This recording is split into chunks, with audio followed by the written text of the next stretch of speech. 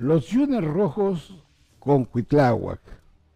Ante su inminente salida del gobierno veracruzano, Cuitláhuac García se encuentra desesperado, pues ante la ya pronta llegada del exdiputado Juan Manuel del Castillo, quien fue retenido en Buenos Aires, Argentina, en una prisión de la Patagonia ante su huida de no caer en manos de la que fuera la PGR, ahora Fiscalía General de la República.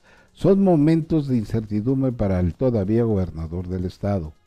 ¿Cómo se recordará el exdiputado cordobés en sus declaraciones ante el Ministerio Público Federal? Señaló al gobernador de haberle entregado 750 millones de pesos del erario público del gobierno duartista, dinero que el candidato de Morena aceptó haber recibido ante la autoridad ministerial. El ex diputado del Castillo, quien al ser interrogado señaló directo a Huitláhuac y al candidato del PRI, en donde destaca también haber entregado 200 millones al candidato del PRI y posteriormente 200 millones más en el conocido Hotel Posada de Coatepec, Veracruz, al mismo candidato. Al parecer existe un video del hotel en donde el ahora conocido diputado local recibe la cantidad mencionada por ser el chofer del candidato tricolor. Ante esta circunstancia, el gobernador se compromete a resarcir el daño, regresando dicho dinero que en ese entonces eran recursos de los veracruzanos y que los secuaces de Javier Duarte indebidamente habían tomado de las arcas del Estado. Y si Cuitlagua, siendo candidato de Morena, recibió ese dinero, mismo que al parecer en parte se ha regresado y que solo le faltan por entregar 35 millones que de acuerdo a nuestras fuentes de inteligencia, esa cantidad se encuentra en la institución bancaria de Imbursa. El gobernador está siendo sometido a una investigación de una carpeta de la Fiscalía General de la República y por lo tanto, por instrucciones directas del presidente López Obrador, se proceda conforme a derecho. Cuitlagua ya indiciado busca desesperadamente apoyos, no solo porque tendrá que dejar la gubernatura, sino porque se ha puesto en manos de un juez de control y otra será su suerte. La semana pasada estuvo en el Senado de la República. Ahí aprovechó para hablar con el senador Miguel Ángel Osorio Chong y con el también titular de la CFE, Manuel Bartlett, a quienes solicitó apoyo para que su caso no llegue a ser juzgado penalmente. Tenemos informes de alta confiabilidad y que guardamos por secrecía que el gobernador ofreció al hidalguense una oferta tentadora y de la cual el propio Osorio Chón lo pensó, lo reflexionó, lo meditó y que posteriormente le daría la respuesta. Así como Manuel Bartlett, algunas propiedades rurales de alta plusvalía. ¿Esto lo sabrá el presidente?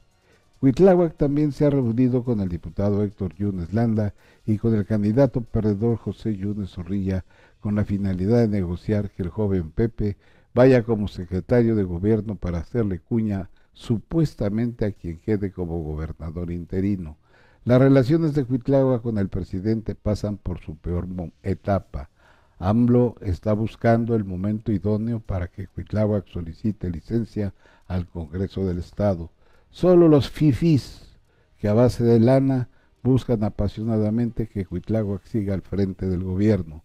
Son los que a través de distintos medios dan versiones chayoteras para ver si los incautos de la política se van con la finta.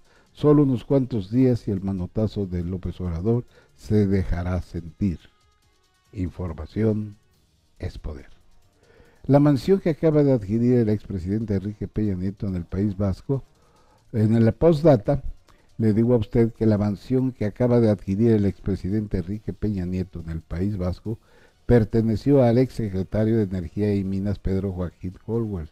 De acuerdo a las investigaciones de las fuentes de inteligencia y de muy alto nivel, han dejado entrever a este reportero que dicha mansión le fue cedida por el exgobernador Javier Duarte, ahora preso en el reclusorio norte de la Ciudad de México, pues este fue socio de Peña Nieto en la privatización de Pemex. Con esto le damos respuesta a lo que el propio presidente a través de su Twitter ha tratado de dar a conocer que no, tiene este, ninguna propiedad.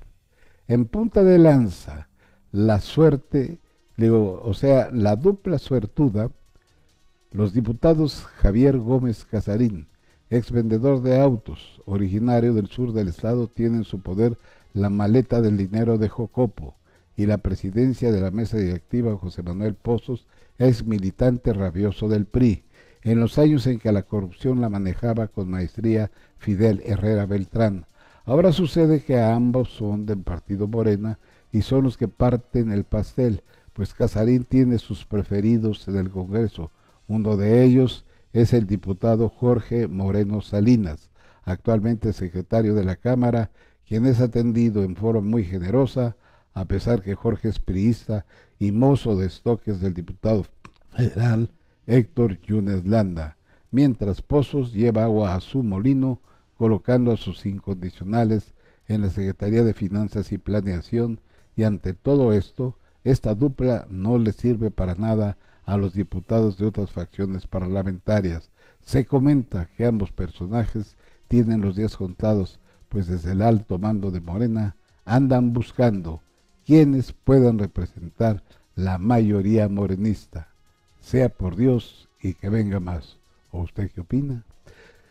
Soy de ustedes su amigo y servidor David Barona Fuentes. Lo invito para que me escuche usted el próximo miércoles a la misma hora por este mismo canal y con la misma gente. Estuvo al frente de este noticiario la licenciada Eva Lisa Barona Conde y las cámaras el joven Luis Donaldo Barona. Y yo como siempre le doy a usted las más expresivas gracias. Una familia de periodistas al servicio de usted.